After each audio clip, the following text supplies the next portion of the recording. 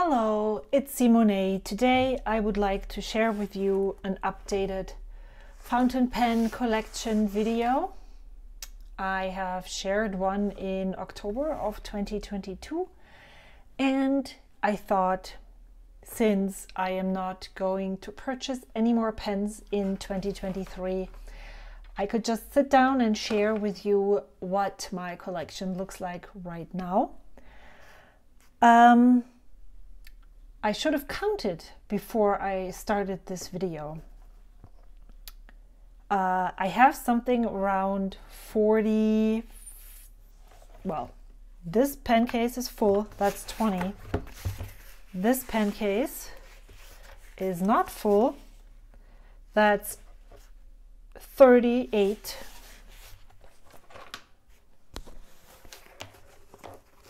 39 40 41 42 43 and then now I'm missing one of them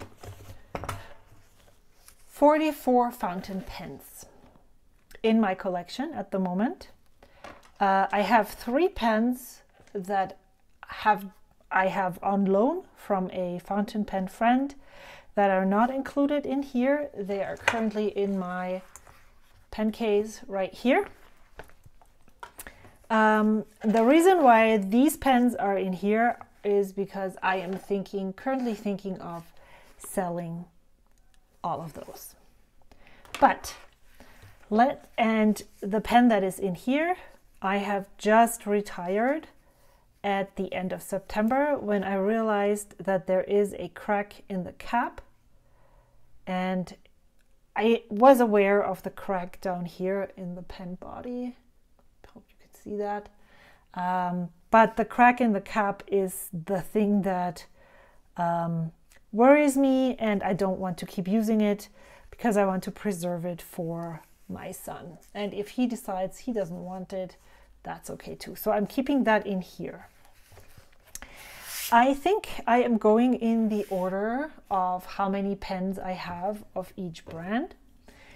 Uh, and then hopefully this is not going to be the longest video. But knowing me and knowing the length of the videos that I usually share, that wouldn't surprise me at all. So the mouse, moused pens in my collection is still occupied by TWSBI even though I have sold quite a few TWSBIs in 2023, and even though I am not going to add any more.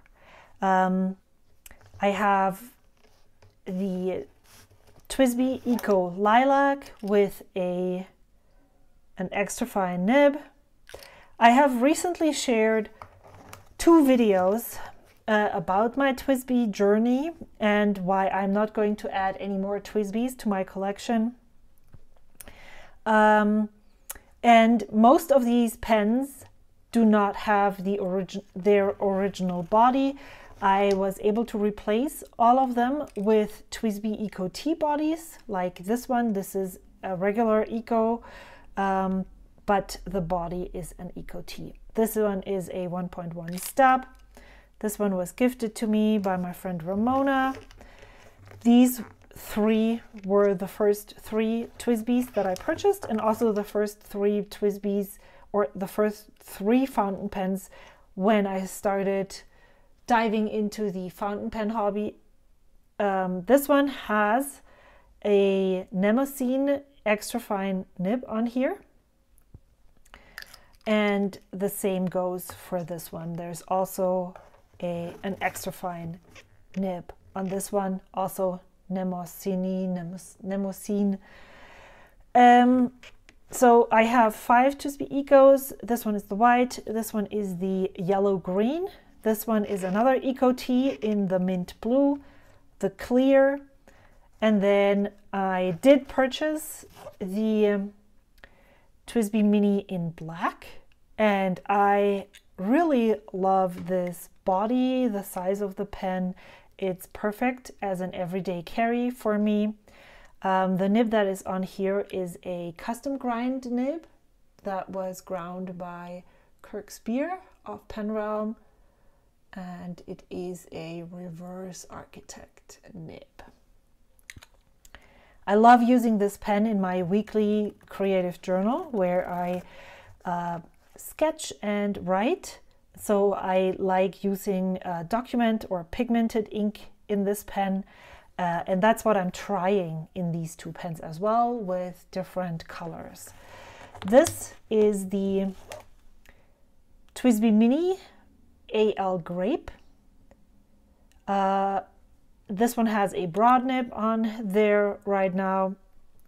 I do have replacement nibs for the TWSBI Mini in uh, fine, medium, and extra fine, I think, um, that I can swap out here. And because I don't enjoy the aluminum grip, I swapped, I just swapped the grip section of one of those replacement nibs. So that's my TWSBI pens.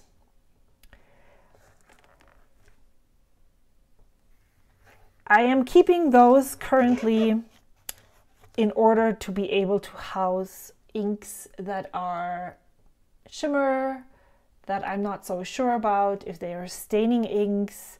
Uh, but I have noticed a decline in me gravitating towards these pens. So I am, I might be tempted to sell even more of these TWSBIs. And then let's just move on to these sailors. I do have two more on loan.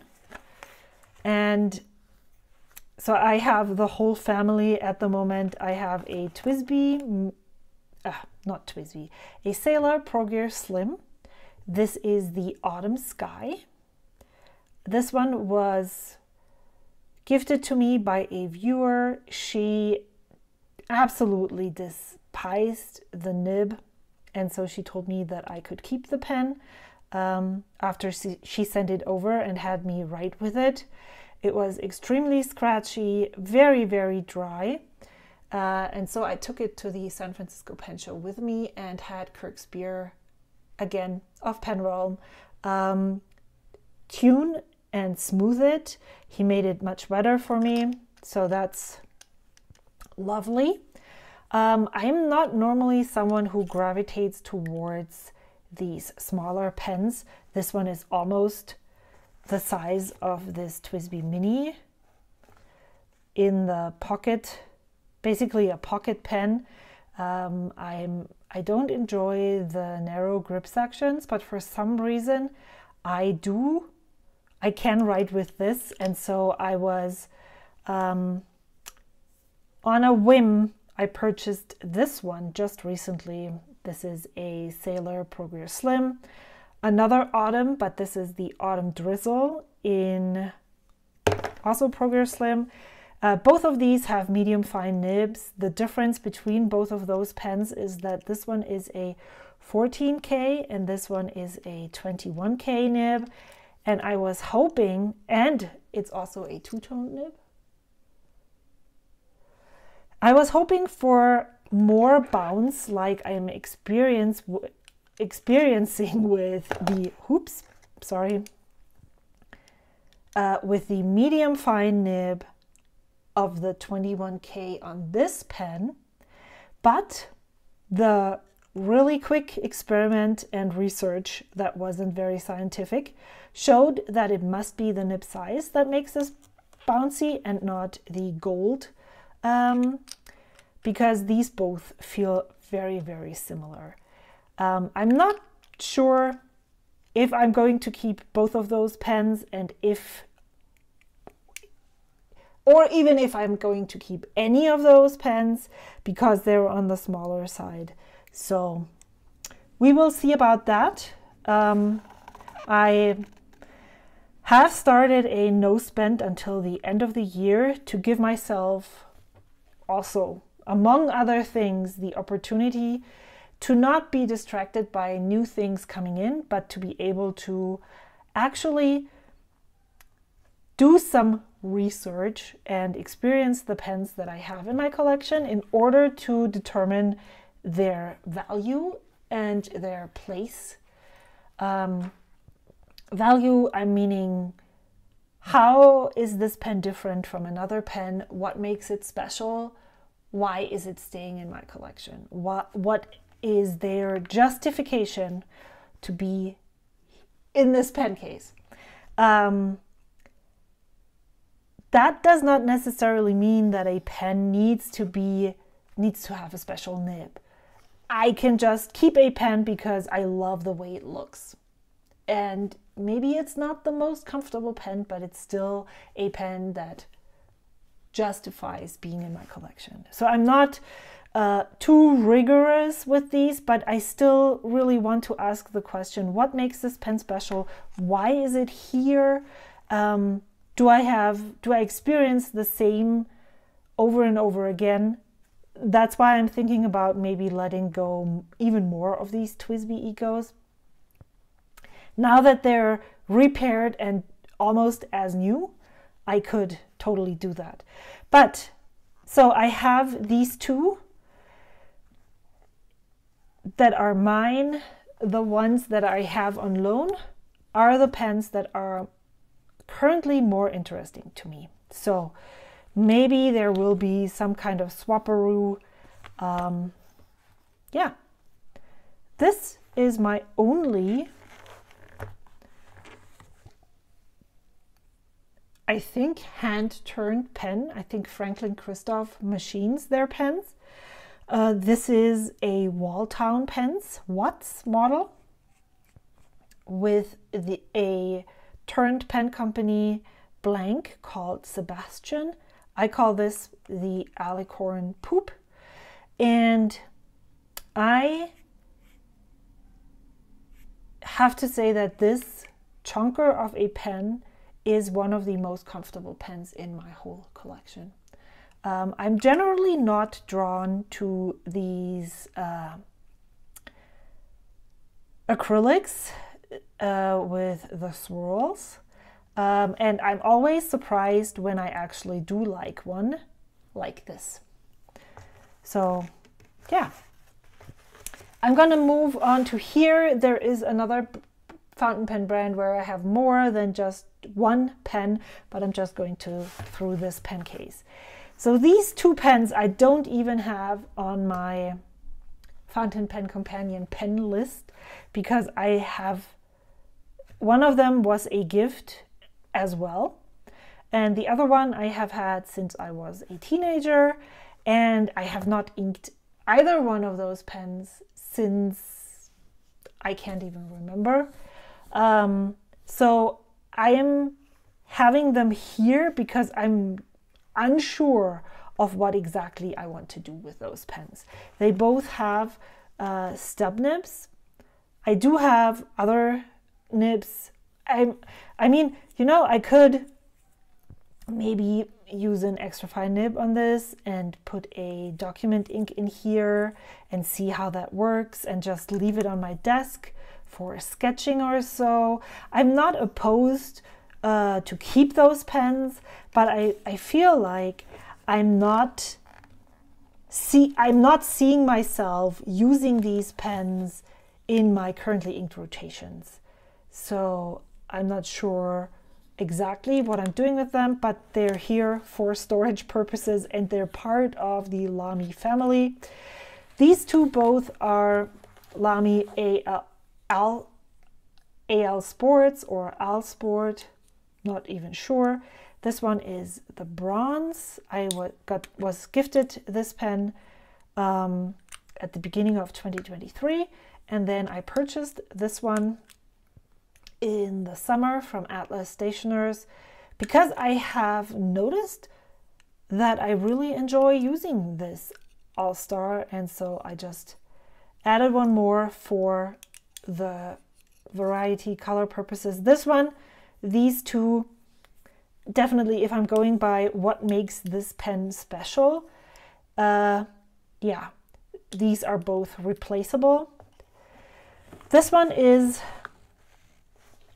the yellow Lamy Safari is by far the oldest pen in my collection.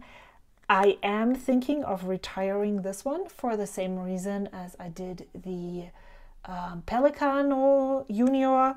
Uh, there are scratches on here. I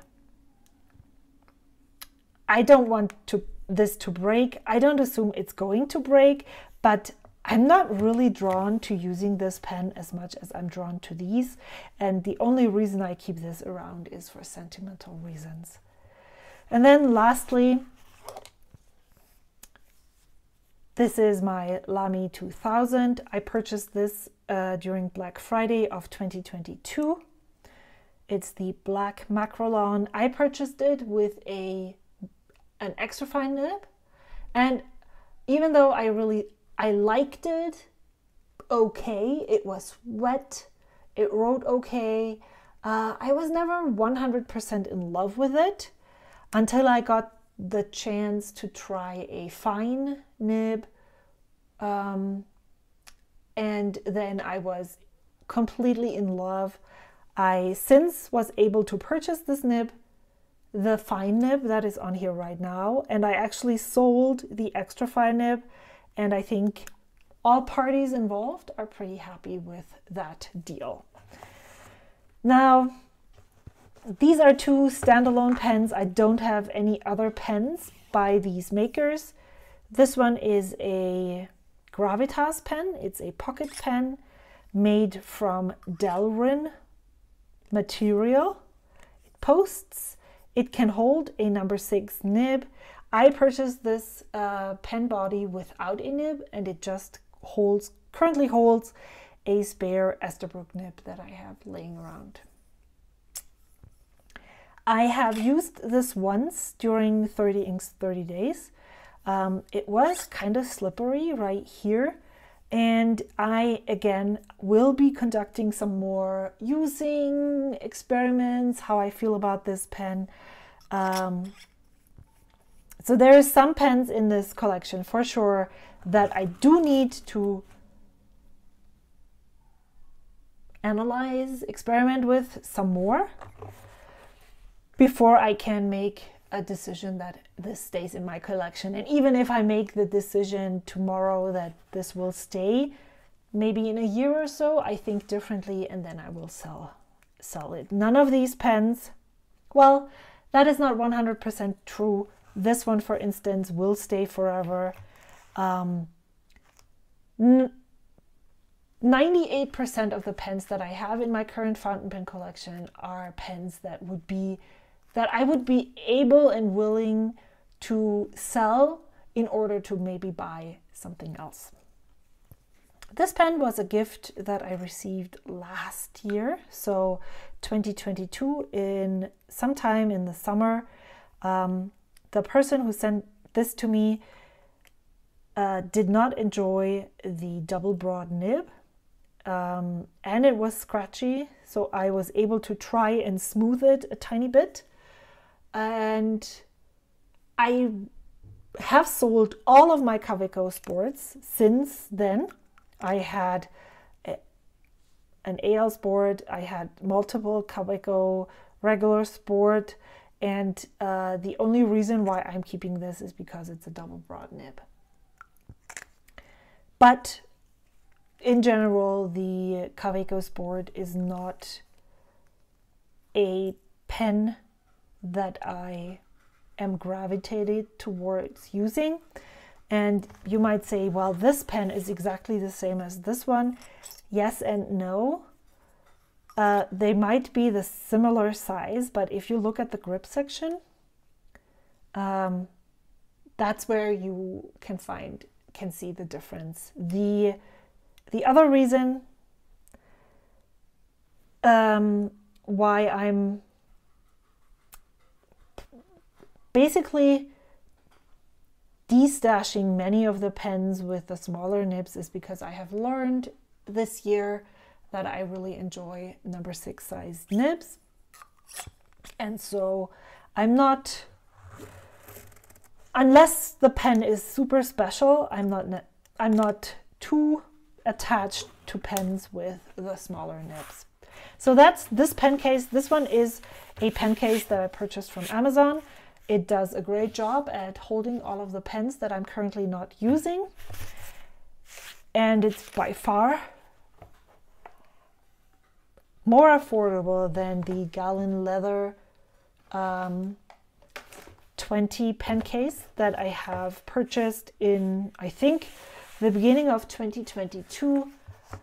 It was a birthday present, and I did not think that I would fill this, but actually uh, I have.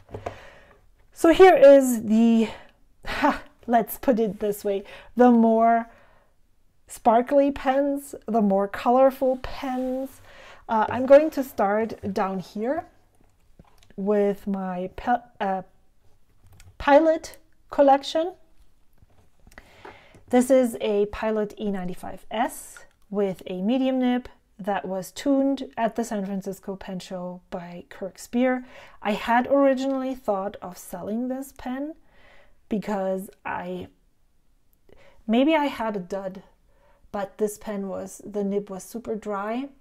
In the upstrokes, especially, it sometimes it it was basically stopping the writing until you would write downstrokes, and so um, I'm not set on keeping this pen in my collection at the moment, but I'm definitely going to try it a little more after the tuning. He spent most of the time on this specific nib uh, because it was just so difficult to seem to be tuned. This one is the Pilot Custom 74. This was my one, well, no, this was my first gold nib pen um, it has the smaller nib size, and as I said before, I don't necessarily enjoy or am not necessarily drawn to the smaller nibs, but this one is just so amazing. It also has some sentimental value um, that this is one of those I don't think I will ever sell or get rid of just because it, it, it was my very first a gold nib pen. And um, this is definitely not something that you should do because it loses its warranty.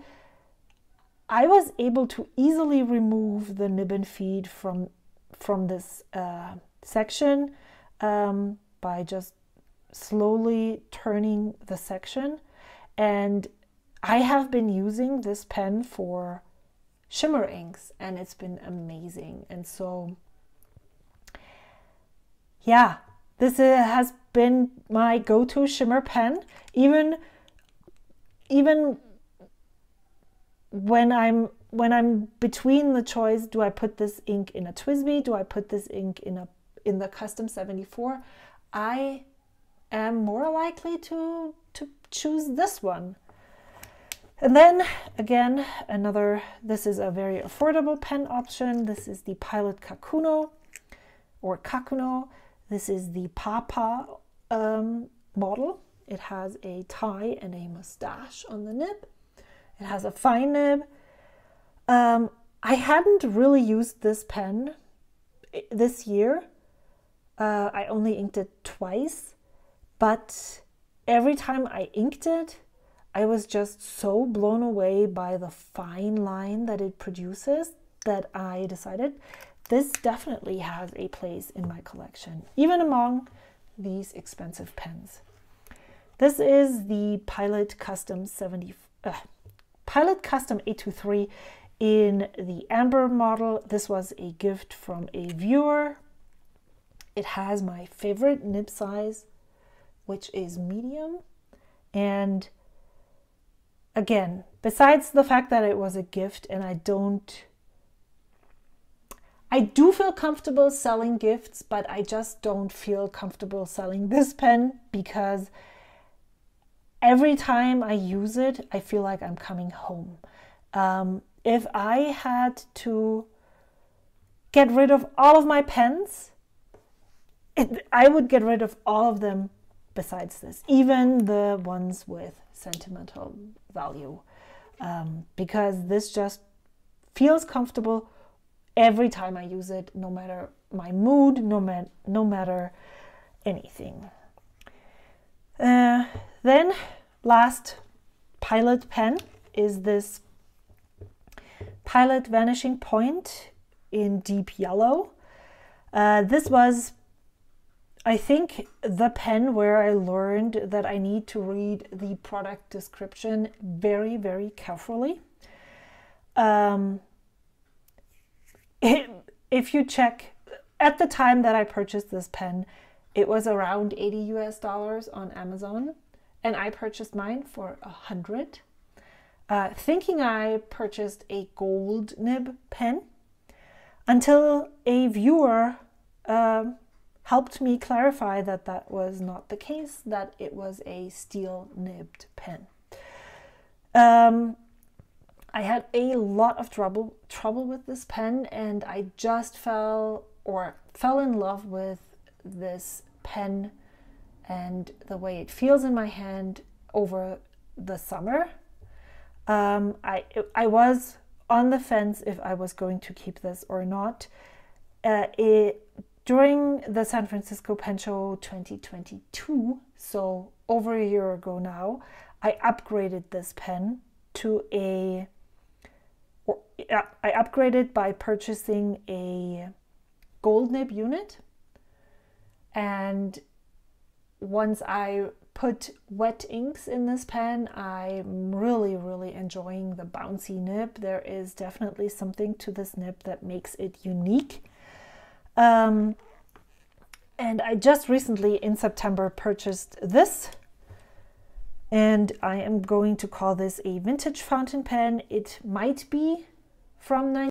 All right, let's see if we can continue with this.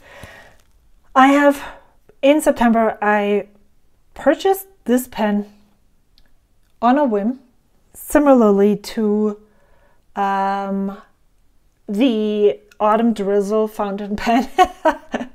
However, this is much more, I talked about that in the video. This, for some reason, just spoke to me. And so I actually didn't think twice. I had the budget, and so I just went ahead and purchased it from Facebook Marketplace. This pen is from around 1997. On the on the nib unit, it says um, 97. I don't re remember the month, um, but these pens were these vanishing points, and this is a faceted model right here in hunter green. Um, I did not say that this one has a medium nib, this one has a medium nib as well. Um, it was then branded Namiki, and the nib unit uh, compared to the 18 karat nib unit of the Pilot Vanishing Point as it comes today. If you purchase this pen with a gold nib, this one came with a 14K gold nib. So yeah, I if we're talking about this pen stays in my collection forever, this one, I can totally say that I will never ever get rid of this. I'm not sure about this one. If maybe someone, you know, people watch videos and they offered me so much money.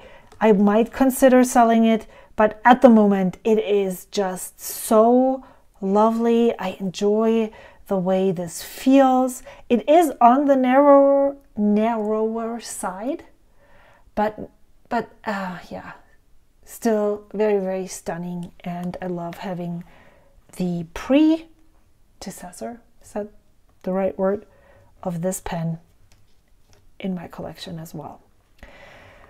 Next up, we're moving on to Benu, and as you can see, I have three of the same pen model, and then one other one. I normally don't keep this one in a pen loop because it's just so big and chunky. All three of those are Euphoria models by Benu. Um, it's just the most comfortable model that I have tested from them so far that has a number six nib.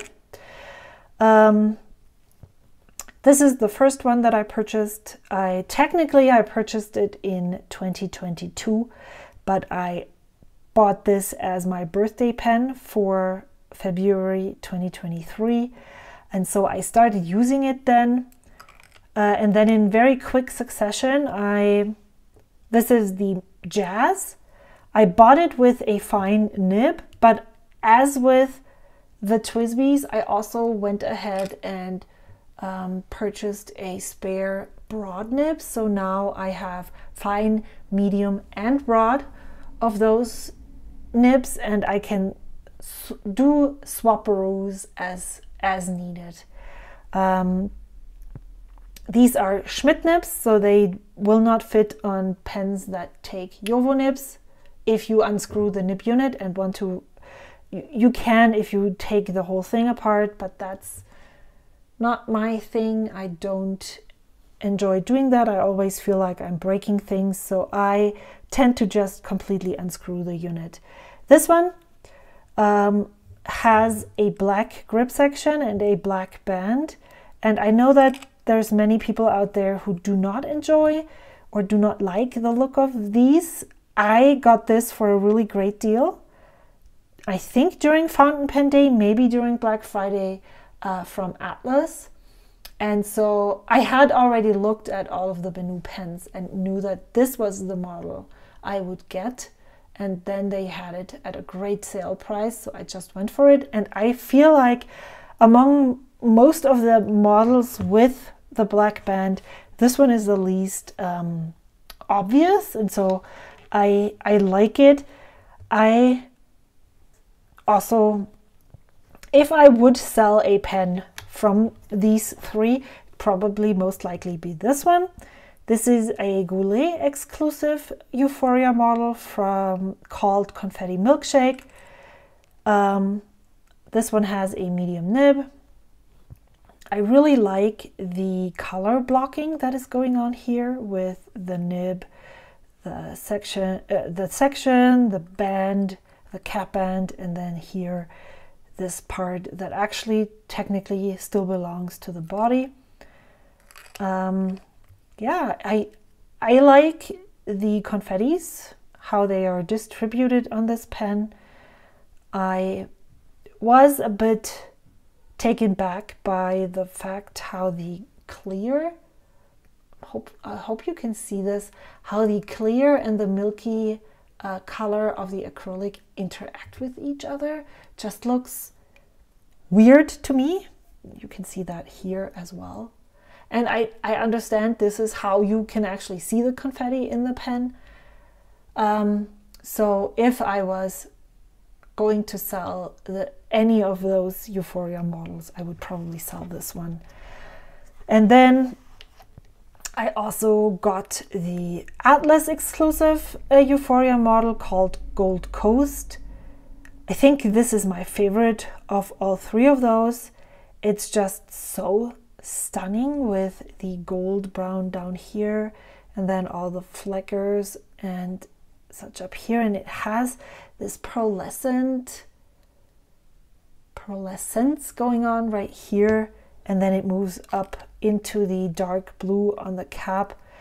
I am just stunned. I purchased both of those with medium nibs. I do have the spare broad, so I can have, if I wanted to, I can have a fine, medium, and broad. And I, I really like having that option. Um, and then in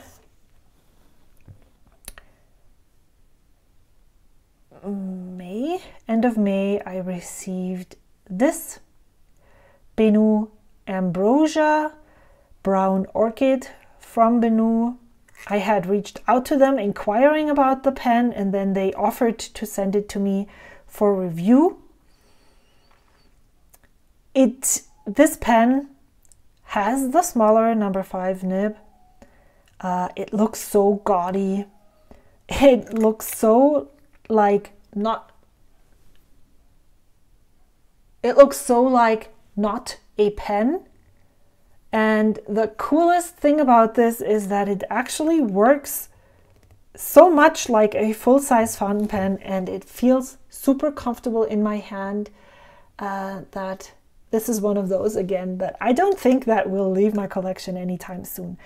I have two nibs for this. I have a fine nib and then I bought a spare medium nib as well. Again, just for to create more options for the pens that I have. And then let's move on to this section here. Here is my teeny tiny uh, Esterbrook Rainbow. I'm just to go from this side over to here. This is also a single pen that I own. This is currently the most expensive pen in my collection. This is a Schoen Design Ultem full size fountain pen with the Schoen Design Monarch nib in medium. Um, this pen is machining perfection. I love it and I can't wait to, to use this more and get to know it more. Um, I was a bit hesitant in the beginning about the grip section, but I have come to like it a lot. And so this one definitely stays. And then I have two Franklin Christoph Model 2 um, fountain pens. I Weirdly enough, I complained quite a bit about this pen and actually thought about selling it. And then for some reason, I just couldn't. And then when I went to the San Francisco Pen Show, I was at the Franklin Christoph table, and again, I was drawn to the same pen model, bought another one of those. This is uh, such a fun, weird shaped fountain pen again. Um, this makes for a really deep postable cap and I just really like that this happens. It's extremely well balanced in my hand when it's posted. I normally don't post my pens, but this one I do. Um, because these pens take JoWo number six nibs, they're really versatile pens. This one I got with a medium nib. Uh, for this one, I purchased a medium sig and I just love it. And I, interestingly enough, I was drawn to this pen model that has the another swirly acrylic. This time it is matte. Feels really warm uh, and and very um, inviting to touch and its primary manipulation which if you know me i'm not necessarily a fan of but for some reason this the the dose of the swirly acrylic in this pen is just the perfect amount for me to be able to enjoy it and then this is another single pen this is the Montegrappa Elmo this is another pen that I purchased in 2023. I had been eyeing Sarah from Ginger Peachy Pens. Um, Montegrappa Elmo, she has both the older one and then the re-release from 2023 and I just really loved it and when I sold several of my pens that didn't work for me anymore I noticed that I was just shy, a few dollars shy of to be able to afford this one. And so I tried to sell some more pens, which I was able to do. And at the same time, I chatted with Sarah and had her send me pictures of uh, comparing comparison photos. This pen, this pen next to the uh, Estie because I knew how the Estie felt. Um, if I would have to choose, I feel this pen is just a tad bit more comfortable than the Estie because of the weight of the barrel. There is some aluminum right back here, or metal, I don't know if it's aluminum, that makes this pen really weighty. Uh, you don't need to post the cap. The downside of this pen is that there is no inside cap and it doesn't dry out, but it definitely, ink definitely evaporates. And it's also always a lot darker when you start writing with it after a couple days um, than the actual color of the ink. These I have accumulated also. This one was the first one, second, third, fourth. This just arrived today. This is the last pen that I purchased in 2023. That's why I'm able to film this collection video. I started out with the Estie Sea Glass uh, that I purchased from Atlas. This one currently has a, a journaler nib that I purchased secondhand from the virtual pen show. Um, it, I purchased it originally with a medium nib. Then I accidentally was lucky surfing surfing on Atlas when they restocked the rainforest with the Techo nib. So I added to cart, checked out, and was able to get that one. Originally, my plan was to maybe uh, remove the nib put another Esterbrook medium nib on there and resell it because this color wasn't my favorite. I have come to like it and I'm not really able to remove the nib. I haven't done experiments yet, so that will come again sometime soon. And if I'm not able to remove this nib as well as this, then I will reach out to Esterbrook and see what I can do. This is the favorite, my favorite Estie color. And I waited three Esties to finally get this pen. I, I felt like I couldn't not end this year without owning one of those. And so I, I made this happen. This is a medium nib as well. And I'm really not concerned with what nib size is on these pens because all of those here fit JoWo number six nibs and I can switch and swap as I like. I have fine, I don't think I have an extra fine nib, but I have a fine. I have specialty grinds like the journaler. I have a broad nib, medium. I have a beautifully tuned wet fine nib and then this one is the Scarlet. I, at the San Francisco Pen Show, I fell in love with this one. So that was the next pen that I purchased. This one currently houses my custom ground uh, cursive smooth italic nib, again by Kirk Speer with the San Francisco uh, Pen Show nib. I had some problems removing the nib. There is an unboxing video for this where I struggle quite a bit and mangle the tines. Uh, and now this custom nib is stuck on here, so I'll see what I can do about that. And then these two are my two platinum pens. This one is uh, the Platinum 3776 Century Shape of a Heart. Uh, I won this in a giveaway by Luxury Brands. This is a pen I would have never purchased myself, but I'm so, so glad I was able to add this to my collection. It has rose gold trim and it doesn't look really that nice right now. There is two cut out hearts from the um,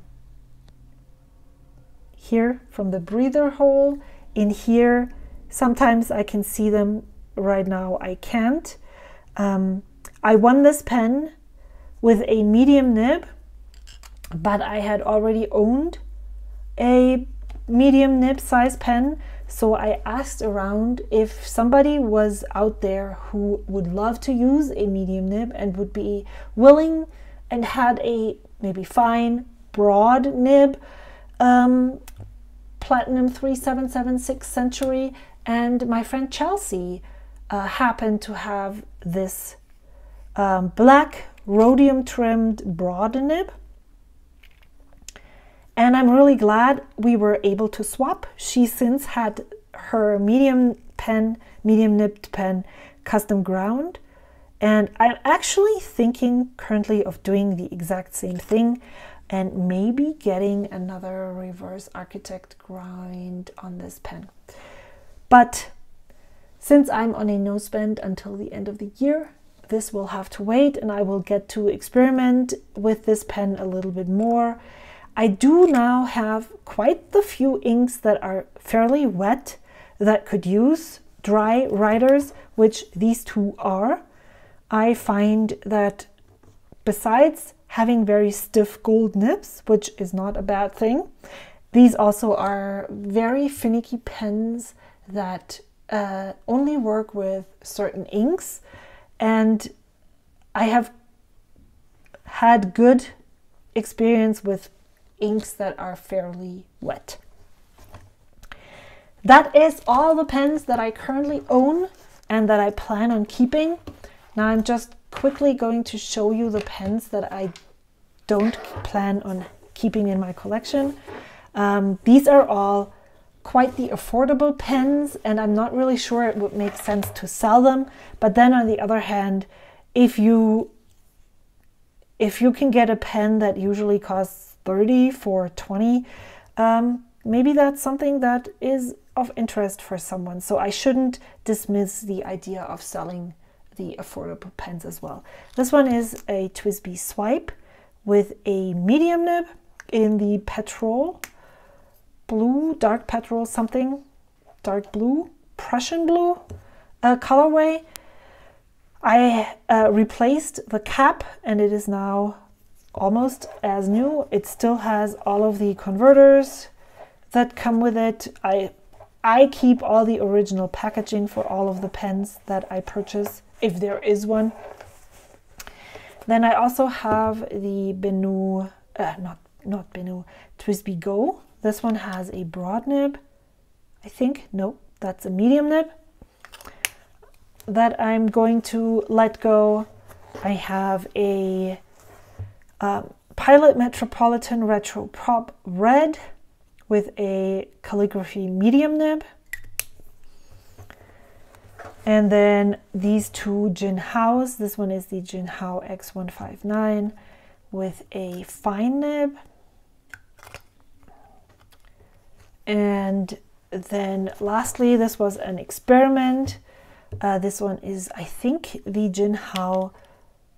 Well, I know it's the Jinhao X750, but I don't know if it's Cosmos or something. It has these, it looks really stunning. It's quite heavy. And I swapped out the nib for a Nemosine uh, 0.6 stub nib that I might give another chance, but uh, it's very likely that I will get, I will destash this sometime soon. So these are all my pens. I am really excited to have most of them in my in my stash, in my collection. I I remember talking about be, am I a collector? Am I a um, user? even though I have really uh, increased my pen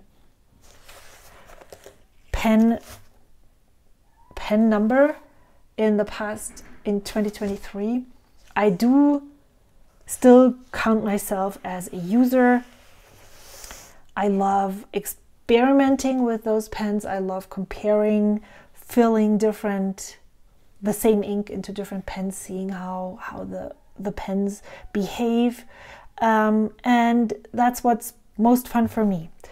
So I hope you enjoyed this video.